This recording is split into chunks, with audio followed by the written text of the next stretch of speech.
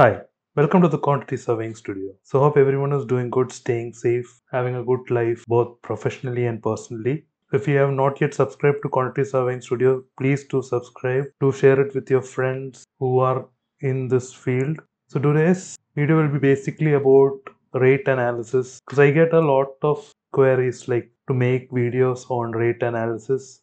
To tell you frankly, rate analysis is something which don't have a kind of specific answer for it. Each person each individual each organization does it in a different way. The basic concepts obviously is taken into consideration which is the material labor the tools and consumables the equipments then the profits overheads. Depending upon the type of project depending upon how complex the project is certain percentages are put on it material quotations are you know, received from different types of vendors and then a comparison is done. The best prices are selected and on top of it some percentage is added on tools and consumables. Sometimes it will be required for high transportation that is added some percentage on it.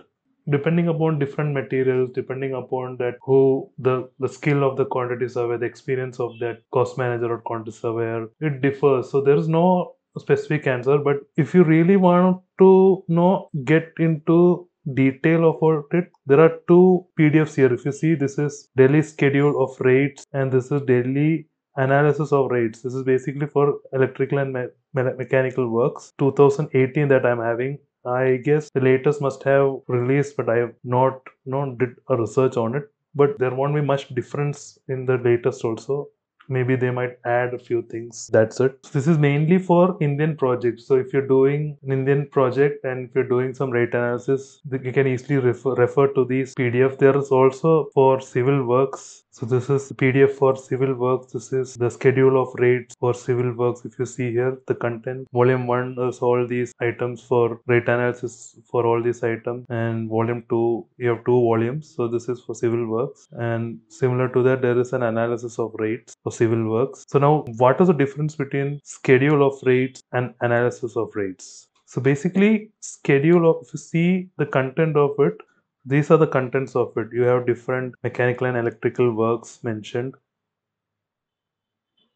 and if you see the schedule of rate means for each type of work they have put the rates. For example wiring in steel and pvc conduit. So this is for wiring works and they're differentiated in different groups. And for that each for group a it will be 821 Group B, it will be 937. Group C will be 1189. So what is these groups and how these rates came? So that you need to refer to this Delhi analysis of rates. So if you go to the first item, so see this is the what we saw here 1.1. So 1.1 is the rate. If you see here, it was 821. So how that 821 got worked out? So if you see here, group A, you know, for each point they have considered 3 meters. Here it is 4 meters. Here it is 5 meters so depending upon how much you are considering in your project, based on that, the points will differ. And here 821 how that came 821 here if it is group b 937 what are the materials used? What was the daily rates used for each type of labor? So everything is explained how overhead and profit is added. So it doesn't mean that you need to add the same 15% sometimes you can use this and add something less 10 percentage or maybe something more 20 percentage. This is the basic of this two pdfs so this pdfs you can easily find